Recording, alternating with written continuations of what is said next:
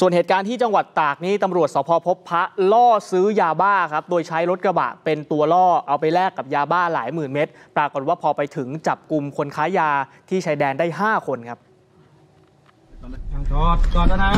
จอดนะยืนเลยนั่งลงยืนเลยยืนเลยนั่งลงยกมือขึ้นยกมือขึ้นยกมือขึ้นมาจับมือ อยู่เฉยได้ยังได้ยังรอได้ยัง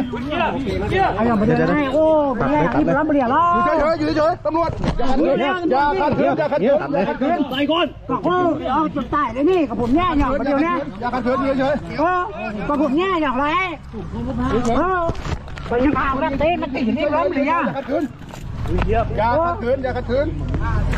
ก็คนอย่างกันก็โอ้ดีๆแล้วครับ อยู่เฉยอยู่เฉยอยู่เฉยไม่มาตีผมเนี่ยฮะอยู่เฉยอยู่เฉย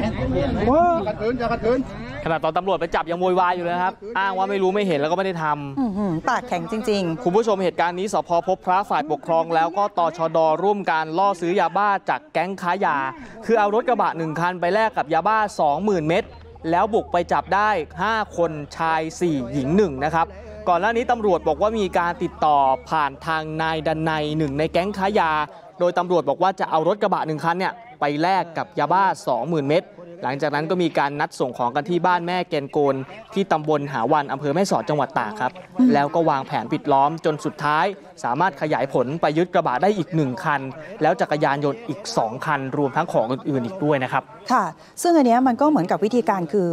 ฟอกเงินน่ะอืมเออเพื่อที่จะไม่ให้เป็นหลักฐานไงครับถ้าเป็นเงินเนี่ยถือว่าเป็นหลักฐาน ฉะนั้นก็คือใช้วิธีการฟอกเอาไปเงินทำเป็นรถเป็นรถอ่าแล้วก็ไม่รู้เหมือนกันนะว่ารถจริงๆเนี่ยขโมยมาอีกทอดหนึ่งหรือเปล่า อันนี้ต้องไปขยายผลต่อนะคะ